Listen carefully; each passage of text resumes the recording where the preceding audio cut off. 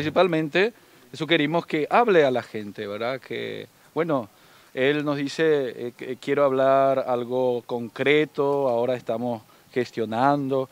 Al principio, eh, con relación a la vacuna que él más hablaba, que al principio confiaba en este sistema COVA, y, pero no funcionó lo, como se esperaba. Según el monseñor Amancio Benítez, obispo de la diócesis de Benjamín Acebal, Bajo Chaco, señaló que el jefe de Estado asumió su error en el retraso de las llegadas de las vacunas anti-COVID, argumentando no haber actuado a tiempo y que busca remendar la situación actual. Asumió la, la eh, culpabilidad en el sentido de que no actuó a tiempo en forma diplomática, ¿verdad? y ahora estamos viendo todo y creo que eh, con esperanza al principio de abril vamos a tener todo eso. Por otra parte, desde la conferencia episcopal propone la instalación de una mesa de diálogo con los distintos sectores de la sociedad. Sobre el punto, el vocero de la institución dijo que Abdo estuvo de acuerdo, instando que la misma sea realizada con propuestas concretas a fin de obtener resultados. Es decir, que nadie mande ahí, no, no, una mesa abierta. Que, y así mismo, él, sí, y claro, y el, el mismo presidente dice, sí, no hay problema,